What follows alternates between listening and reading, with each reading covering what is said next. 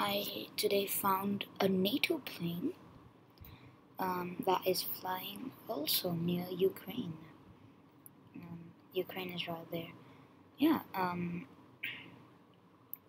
a NATO plane. I, I just found a NATO plane. Um, a NATO plane usually looks like this, and um, it's been circling around this area for ages right now.